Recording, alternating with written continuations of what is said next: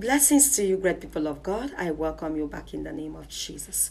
My name is Awangia Iris, and this is the atmosphere of possibilities. Thank you so much for joining this amazing family. God bless you. If you're seeing me for your first time, you're welcome in the name of Jesus. Thank you for tuning in, and I pray this channel blesses you in the mighty name of Jesus. If you're old, thank you for always coming back. Thank you for standing with me, and thank you for supporting this channel. God bless you. Praise the Lord. Hallelujah. There is a big issue in your house, a very big one for that matter. And this issue concerns your hygiene, and that is coming directly from your toilets.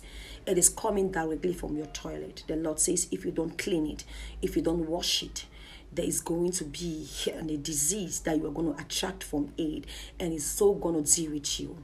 And now the enemy has used an opportunity to pass through this and it's going to be a critical one if you don't go ahead and do it. And if you are not careful your children too are going to be contaminated. So you ought to do what the lord is asking you to do right now. Warm your water okay and use your eau de javel. Make sure you put it inside that warm water and pour it inside your toilet. Wash it very well and and wash it and flush it over and over before you use it. Hygiene is very important. Cleanliness is next to godliness.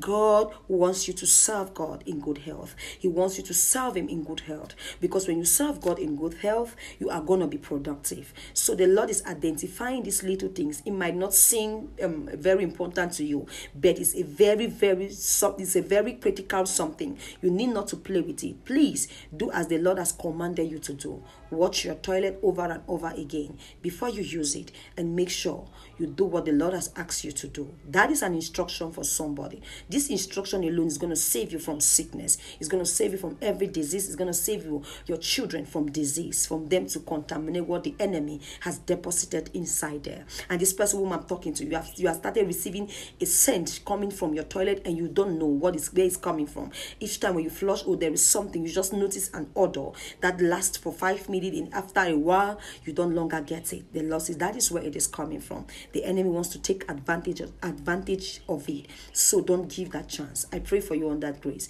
as you do what the Lord has instructed you to do. Obedience is better than sacrifice. May God help you in Jesus' mighty name. You and your children, your family is free. No disease. You will not contaminate any disease in Jesus' mighty name.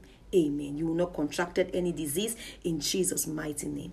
Amen. May God bless you. I love you. See you in the next session. Shalom.